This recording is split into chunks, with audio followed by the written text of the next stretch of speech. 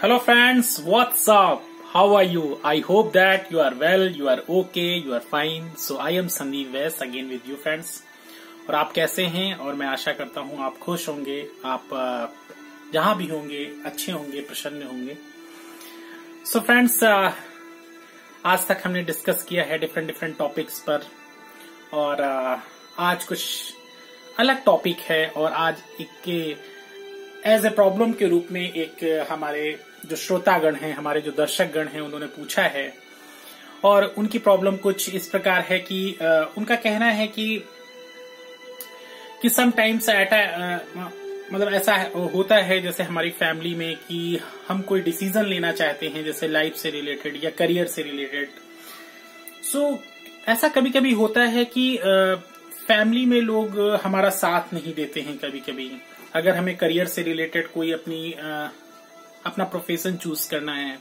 तो उसमें भी क्या होता है कि आ, हमारी फैमिली कभी कभी हमारा साथ नहीं देती है और ही हमें कहीं ना कहीं उसके अंदर डीमोटिवेट करती है। है ना? और उसके बाद क्या होता है कि आ, हम और ज़्यादा डीमोटिवेट होते हो, होते जाते हैं होते जाते हैं।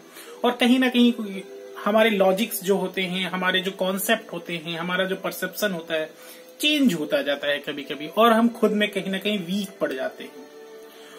या फिर कोई जो हमारे जीवन से रिलेटेड प्रॉब्लम हो, या फिर कोई स्टेप हम लेना चाहते हैं, उसमें क्या होता है कि जो हमारी फैमिली होती है वो अगर हमें सपोर्ट नहीं करती है तो ऐसे केस में हम बहुत ज़्यादा अकेलेपन की अनुभूति करते हैं, हताश हो जाते हैं, निराश हो जाते हैं। हमें उस फ़ील्ड में जाना होता है या फिर उसमें आगे बढ़ना होता है डिसीज़न में, लेकिन क्या होता है कि हम अपना कदम आगे नहीं बढ़ा पाते हैं। सो so फ्रेंड्स इस तरह की समस्या है और इसके ऊपर भी हमारा एक अपना एनालिसिस है और उसके अकॉर्डिंग आपको कुछ हम यहाँ बताएँगे कुछ पॉइंट्स में बताएँगे। Some of the points I have so एक एक करके डिस्कस करेंगे आपके साथ कि किस प्रकार से ऐसी समस्या से हम निपट सकते हैं फ्रेंड्स सो so, आइए देखते हैं कि फ़र्स्ट पॉइंट क्या है। Try to control yourself. Let not happen any misconduct. Right, friends? देखिए फ़र्स्ट जो है, ऐसे केस में क्या है कि अगर अपने फैमिली के साथ आपने शेयर कर दी है, आपकी जो समस्या है, या फिर आप जो चाहते हैं स्टेप लेना फैमिली में अपनी लाइफ में सो so, ऐसे समय क्या है कि अपने ऊपर फिर आपको कंट्रोल करना होता है कहीं ना कहीं। अगर आपने अपनी बात रख दी है उसके बाद उनका जो रिएक्शन आता है उसमें आप अपने आप को थोड़ा सा कंट्रोल करने की कोशिश करें। बहुत ज़्यादा रिएक्ट ना करें और आ, कहीं ना कहीं आ, ऐसी कोशिश करें कि मिसकंडक्ट ना हो जो आ, हम लोगों के बीच जिस तरह की भी बातें हो रही हैं। वो कहीं ना कहीं एक्सप्लोजन के रूप में ना आए। या फिर ये फैमिली वालों के लिए भी है और जो इंडिविजुअल है जो अपनी बात रख रहा है, ये दोनों को सलाह दी जाती है कि और उस उस पर्टिकुलर फैमिली को भी ये कोशिश करनी चाहिए कि बात बहुत ज़्यादा ना बढ़ जाए कि जो सामने वाला बंदा है वो हर्ट हो जाए कहीं ना कहीं। और इतना ज़्यादा हर्ट हो जाए कि कोई ऐसा कदम उठा ले कि जिसके बाद फिर केवल पछताना रह जाए। इसलिए दोनों पक्ष की तरफ़ से कहने का मतलब है, जो फैमिली है और जो इंडिविजुअल पर्सन है, दोनों को कहीं ना कहीं संयम बरतना आवश्यक होता है।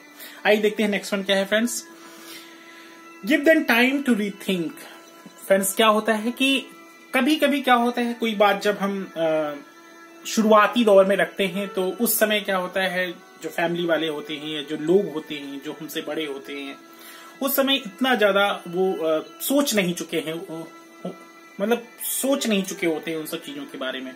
सो क्या होता है कि कुछ समय देना बहुत ज़रूरी हो जाता है और ऐसे समय उनको छोड़ देना चाहिए। जैसे कि आपने आ, अपने करियर को लेकर आपने बताया कि भाई हम ऐसा करना चाहते हैं। हो सकता है कि आपने एमबीबीएस किया है और फिर उसके बाद आपको लग रहा है कि नहीं हमें एक्टर बनना है राइट हो सकता है कि आपने आ, आपने कोई और कोर्स किया एलएलबी का कोर्स किया है लेकिन उसके बाद आपको लग रहा है एज ए हमें काउंसलर बनना है।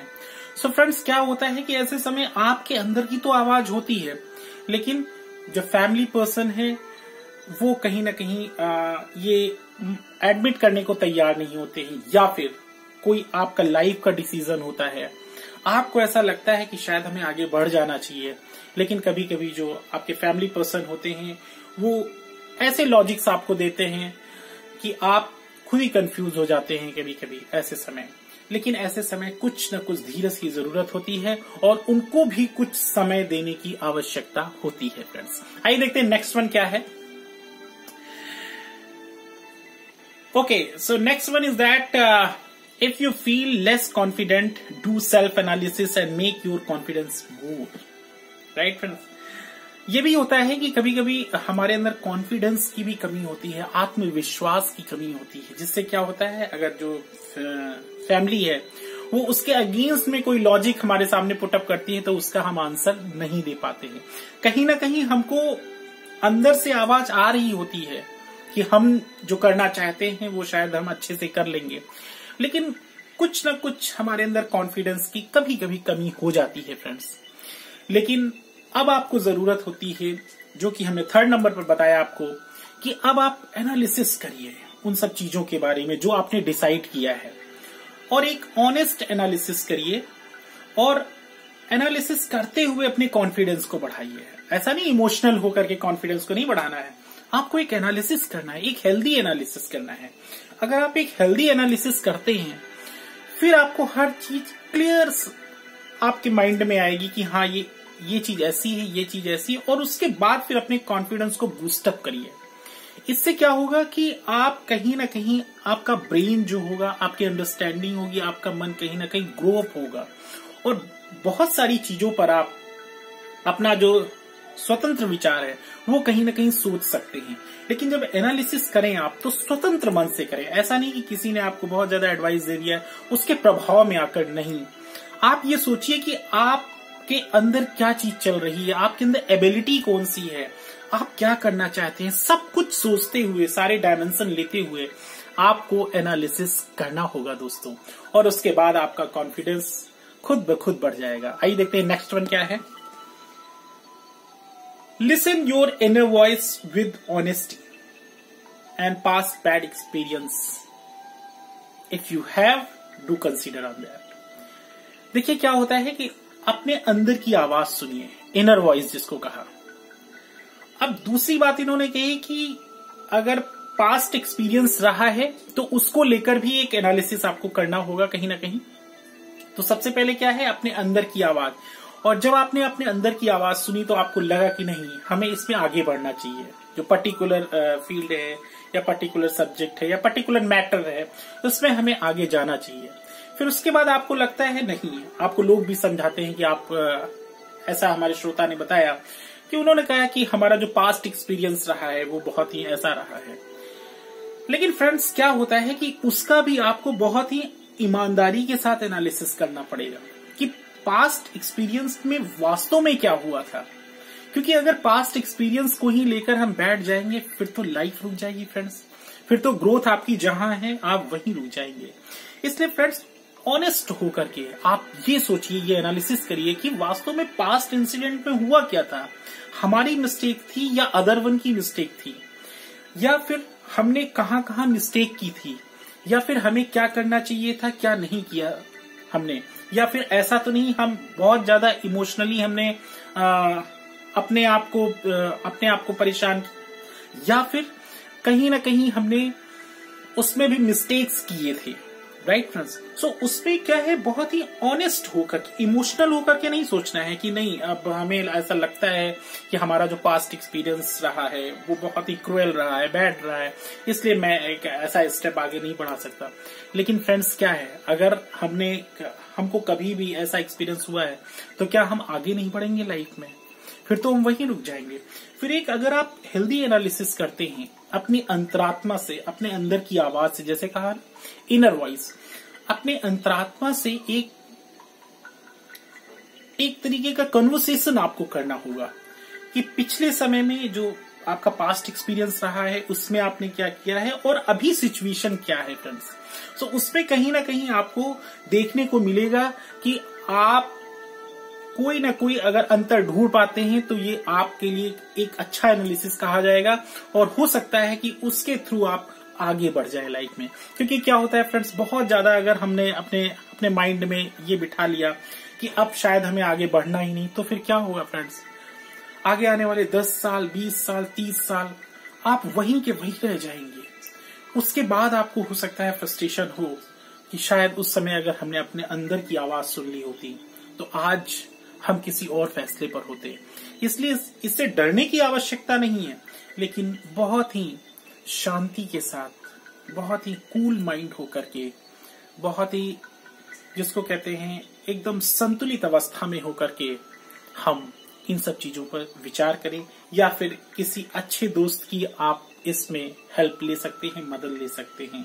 बशर्ते वह दोस्त अच्छा हो राइट right फ्रेंड्स या फिर आपके अपने पेरेंट्स हैं अगर आपको लगता है कि वो सही आपको दिशा निर्देश आपको दिशा निर्देश दे रहे हैं, या फिर आपको लगता है कि हाँ आप इतने कैपेबल हैं, क्योंकि फ्रेंड्स क्या होता है, जितना ज़्यादा आप उन सब चीज़ों पर सोचते हैं अपने आप अपने आप एनालिसिस करते हैं, उसमें क्या होता है कि आप उतनी ज़्यादा मेच्योरिटी लेवल को हासिल करने में सक्षम हो जाते हैं। ओके फ्रेंड्स सो आइए देखते हैं नेक्स्ट वन क्या है। Day by day, do practice to increase your confidence if you are on right track. Okay, friends, don't try to pull back yourself from current position. Otherwise, again, you will get in past grief or drama.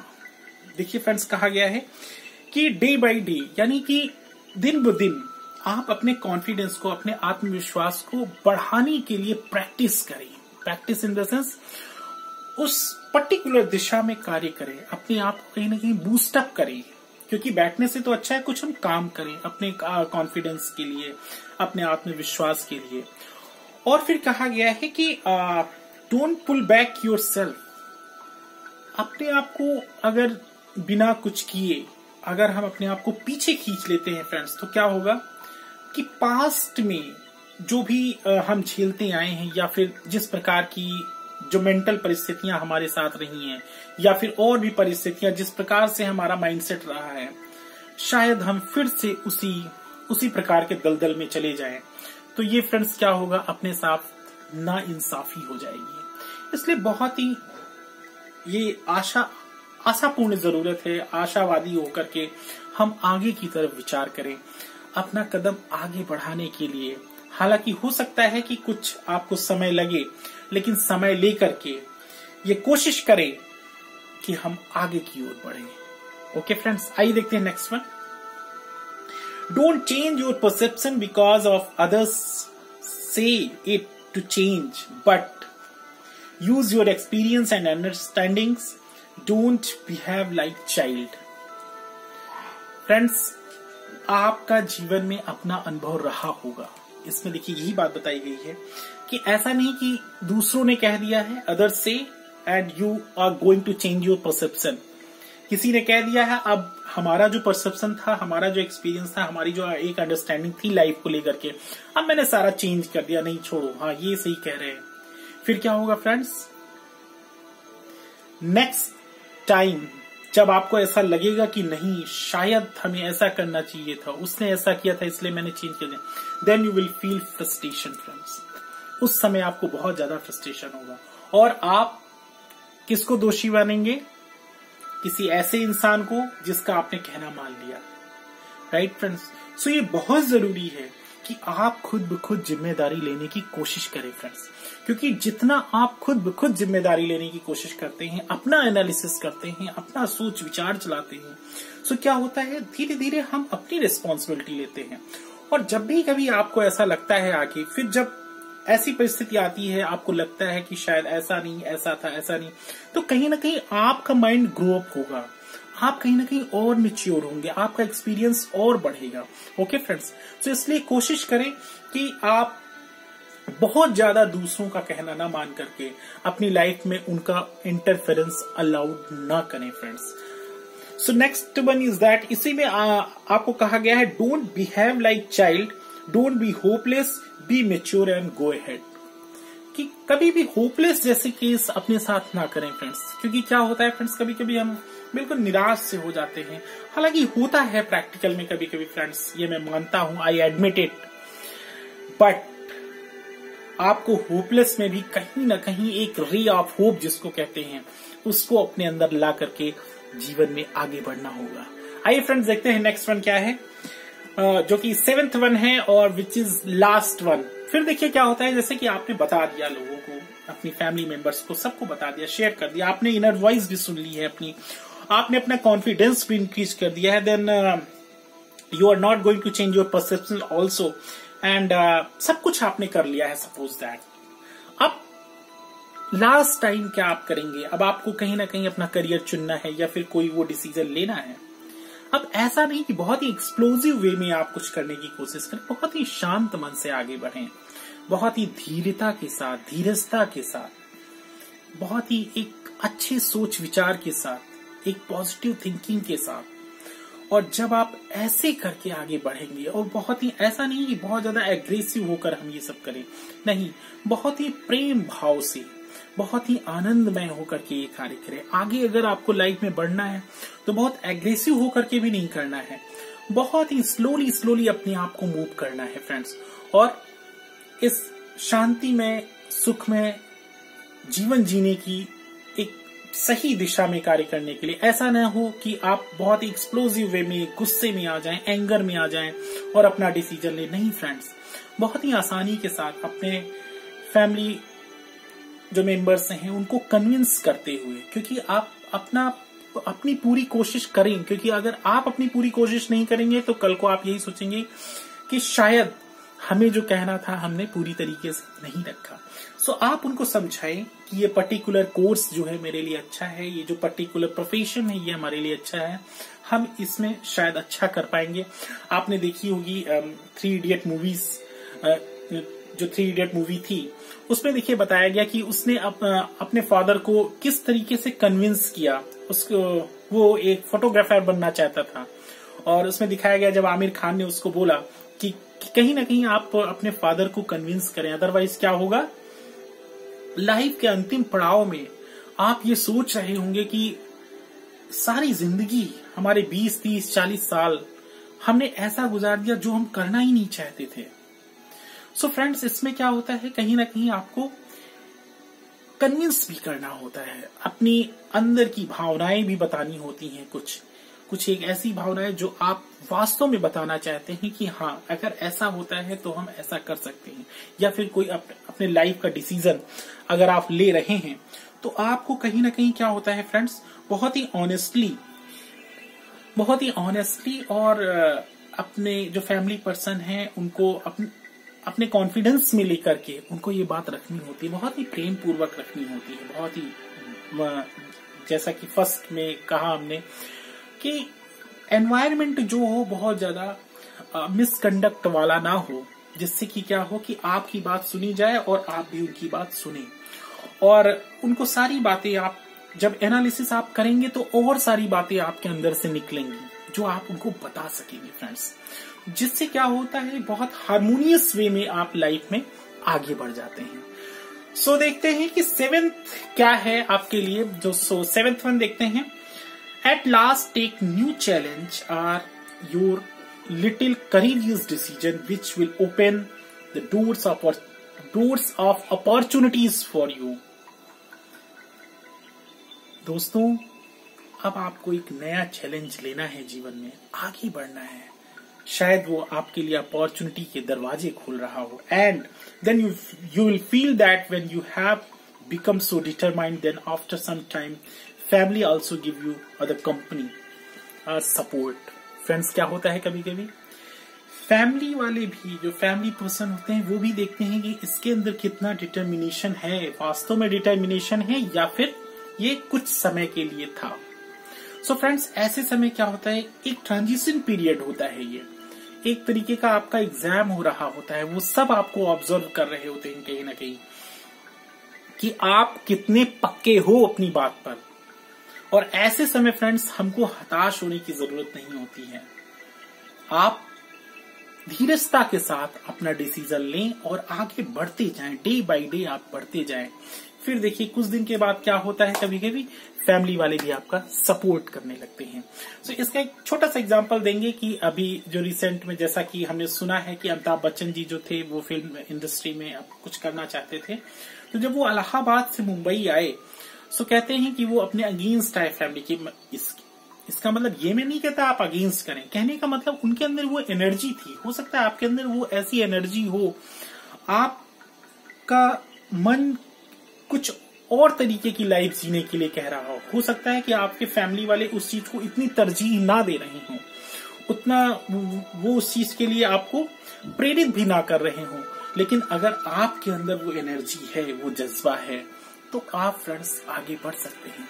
So so friends फिर उन्होंने अमिताभ बच्चन जी ने आकर के एक अपना संघर्ष किया और उसके बाद उस उस मुकाम पर आए या पहुँचे। सो so फ्रेंड्स क्या होता है कि जब भी हम कोई डिसीज़न लेते हैं तो उसके अप एंड डाउन भी होते हैं। ऐसा नहीं कि अब हम आपको अगर कहें कि आप अपना डिसीज़न लेते हैं तो अब आपको अगर ऐसा लगे कल को कि नहीं इसमें तो कुछ हम नहीं कर पाए, फिर नहीं फ्रेंड्स उसमें क्या होता है, कहते हैं कुछ ना होगा तो तजुर्बा होगा।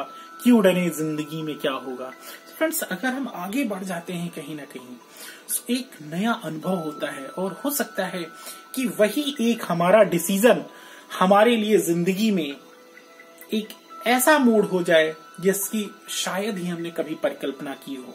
इसलिए बहुत ही सौम्य भाव से हमें आगे बढ़ना है। बहुत ही अच्छे चिंतन के साथ आगे बढ़ना है। Good thoughts good energy positive energy positive vibration